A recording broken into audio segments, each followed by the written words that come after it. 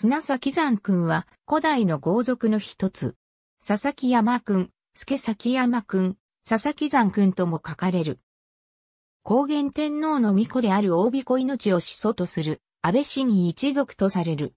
平安時代まで、加茂、神崎両軍の大領として、大見国に勢力を持っていた。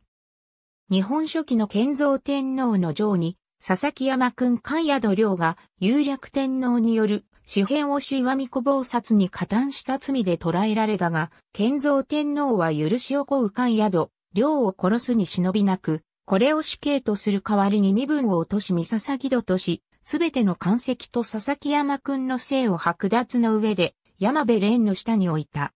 同族のオケメ老王が、押岩美子の遺骨の所在を知らせた功により、オケメ老王の兄である、和宿領に、関宿領から剥奪した佐々木山君の姓を与えたとの記述がある。古事記下巻にも同様の記事があり、安康天皇の段で、関を短海の助崎山君の祖と記すが、建造天皇の段では、漢の子らに、押岩美子の御領を守らせたとあり、漢本人に関する記載はない。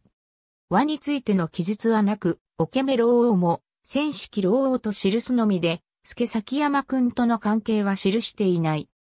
谷川健一は、領土であったから京京城を名乗ったのである。このことから笹部という部民は、領土、つまり、天皇や皇后の御領の番人を指したと考えられると記している。